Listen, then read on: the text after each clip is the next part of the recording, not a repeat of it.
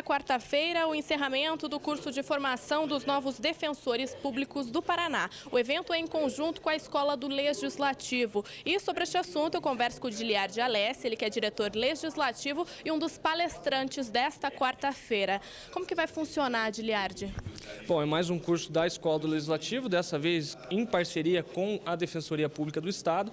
E a palestra, mais uma vez, vai ser gratuita e aberta a todos os cidadãos. As inscrições são feitas pelo site da Assembleia no link da escola.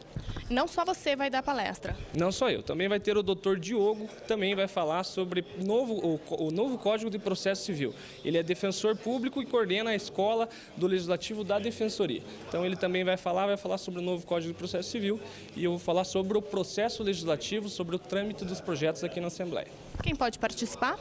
Todo mundo, Está todo mundo convidado, aliás, todos os cidadãos que, que, quiserem participar, os servidores da casa também. As inscrições, como eu disse, são gratuitas e podem ser feitas pelo site da Assembleia. Mais informações também estão disponíveis no site alep.br.gov.br ou então nas redes sociais do Legislativo.